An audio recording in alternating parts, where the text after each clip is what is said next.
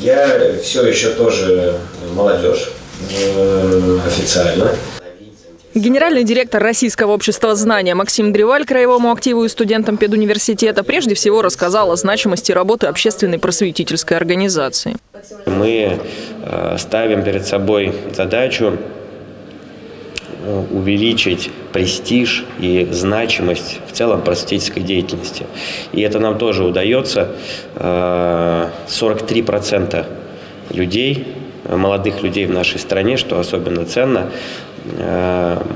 считают просветительскую деятельность высокопрестижной, высокопрестижной. И за полгода этот показатель увеличился на 11 процентных пунктов. Знания ежегодно проводят сотни мероприятий для молодежи. Выступления людей из сфер культуры, искусства, науки, истории, научные батлы, викторины. Снимает фильмы и помогает лекторам быть услышанными и найти свою аудиторию. Причем лекторы – люди самых разных профессий и возрастов. Кстати, иностранные граждане тоже принимают участие в проектах.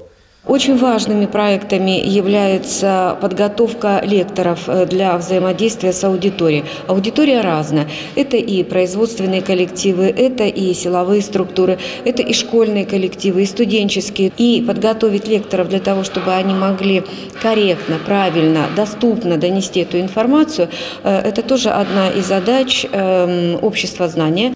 Региональное отделение общества действует по всей стране в 89 субъектах Российской Федерации. Деятельность э, в Алтайском крае на самом деле очень обширная, потому что во всех федеральных проектах абсолютно э, принимают участие жители. И могу даже сказать, что регион входит в десятку самых активных, самых масштабных по просветительской деятельности, что, конечно, вдвойне приятно. На сегодняшний день Краевым обществом организовано несколько площадок для проектов. Это педуниверситет, библиотека имени Шишкова, локации в Наукограде. Новые пространства для просвещения жителей в этом году планируют открыть в Славгороде, Камне-на-Оби и Рубцовске. Юлия Щепина, Алексей Фризин. День с толком.